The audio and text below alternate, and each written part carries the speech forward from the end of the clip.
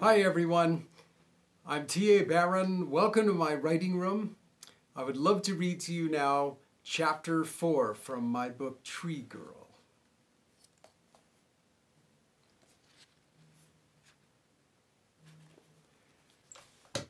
Weeks passed. Anna's first radishes poked out of the ground, and wrinkly leaves softer than thistledown sprouted from the branches by the forest edge. Ay, and how she loved to rub them on her cheek as she danced down the beach, kicking up sand. But none of this meant as much to Anna as her growing desire to see the high willow, to touch it with her eyes, since she couldn't with her hands.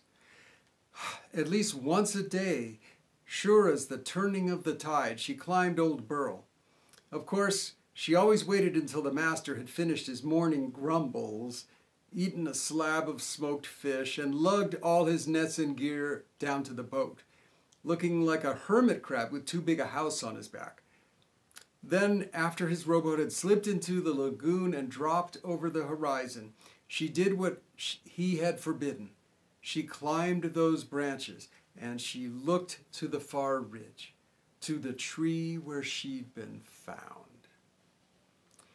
Sometimes she saw what looked like an uplifted branch poking through the mist, or a faint hint of green, or a shadowy shape behind the clouds. But she never saw the whole tree, not once. Flying fish eggs, that was annoying. And something else bothered her too. Something strange. Odd things just kept happening. Just as odd as her upside, upside down basket or that rippling laughter from the woods and just as hard to explain. First came her sandals. She'd set them out to dry in the sun after a, a, walk in the shallows to collect a few sea urchins. Then, a moment later, the sandals were gone. They had simply vanished from the beach. Losing her sandals by itself didn't bother her much. She usually walked barefoot anyway.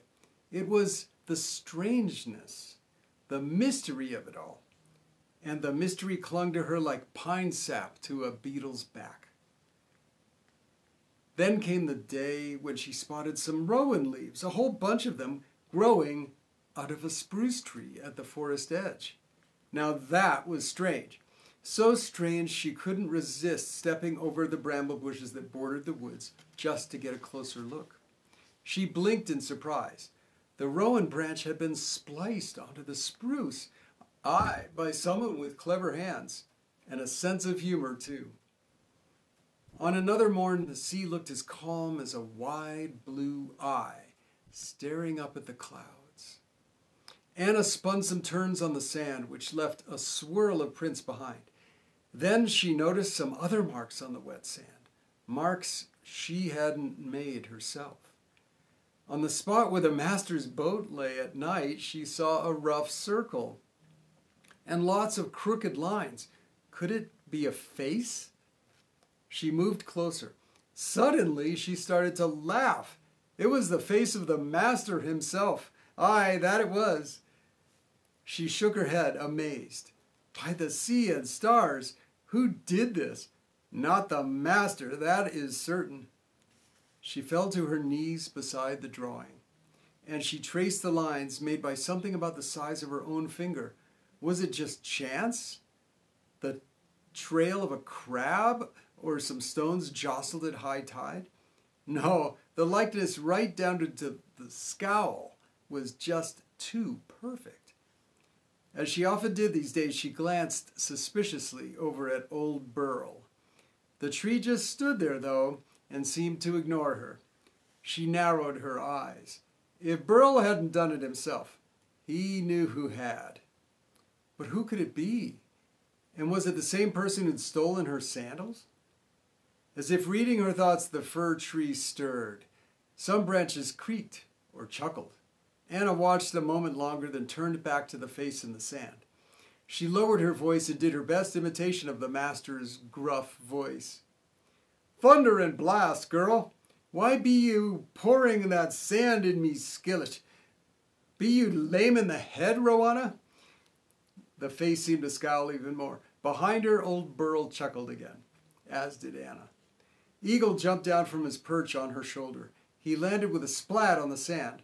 Then he strutted right over to the master's chin and started to whistle angrily. Watch yourself, you gall-blasted bird! It was hard to keep going without laughing out loud, but Anna managed somehow. Or else I'll feed you to the fish. Bet your scrawny tail feathers I will. At this, Eagle flew into a rage. He jumped onto the drawing's nose and started pecking it hard with his tiny beak. Anna smiled at the little warrior. She gathered him up despite all the nips to her hand. It's all right now, my friend. You scared him so much, he won't talk anymore. Eagle paced across her palm. He didn't seem at all convinced. Here you go, a reward for your bravery. She reached into her apron pocket and pulled out an old oak leaf wrapped around a sticky slab of honeycomb. She peeled back the leaf, broke off an edge, and offered it to him. But the valiant bird wouldn't turn away from his enemy. Who could, after all, just be playing dead? Anna took a bite of honeycomb herself. She chewed thoughtfully. All right then, what if I rub him out? Then you'll know he's really gone. Eagle chirped several times. She put the bird back on her shoulder and then gave him a bit of honeycomb. And then she reached over to the drawing. But just as she was about to touch it, a sharp wind gusted. All along the forest edge, trees twisted and groaned, waving their branches. Old Master Burl's lower branches slapped the sand. Suddenly, Anna's sunbonnet woven from willow shoots the spring before, flew off her head. She leaped to catch it, but too late. The bonnet spun in the air, then sailed over the brambles and into the forest. It landed on the very tip of the spruce tree's grafted branch. Thundering thumbnails! She bounded after it, jumping over a bramble bush. At the instant she reached the bonnet, though, a new gust snatched it and carried it over to an elm tree a little farther into the forest. There it rested on a lower branch, quivering on the wind. She swallowed. Then she glanced back over her shoulder at the cottage and the safety of the shore. Eagle, clutching her shoulder, flapped his good wing anxiously. He tried to whistle, but his beak was fused together from his bite of honey, so he could only make a stifled squawk. Hush now, she told the bird. I don't want to go in there either. But really, we're still so close to the beach. Anna turned back to the forest. She peered at the bonnet, sitting on the elm, dappled with sunlight. It was only fifteen or twenty steps away. Again she glanced back at the shore, and then back at the bonnet. Took me two months of work to weave that hat, she grumbled her fist clenched, squeezing the remains of the honeycomb. And no silly old wind is going to take it away from me now. She sucked in her breath and stepped into the forest.